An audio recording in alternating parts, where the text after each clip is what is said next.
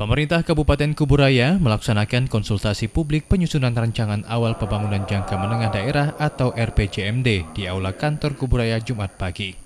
Dalam rangka percepatan pembangunan di Kuburaya, khususnya di bidang infrastruktur, Pemkap Kuburaya akan mengajukan 9 titik jalan kabupaten untuk berubah status menjadi jalan provinsi.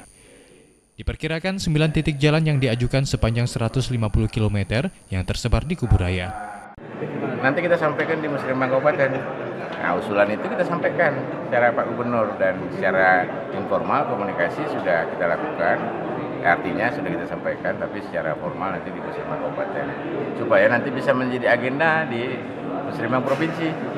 Nah karena kita yang kita sampaikan ada argumentasi dasarnya jelas, ya. dan itu saya kira sesuai dengan apa yang eh, karena kita ini kan wilayah penyangga ibu kota, sehingga kan kualitas jalan-jalan yang langsung berhubungan dengan pusat-pusat ibu kota yang langsung terkoneksi dengan kota Pontianak itu kan harusnya baik lah.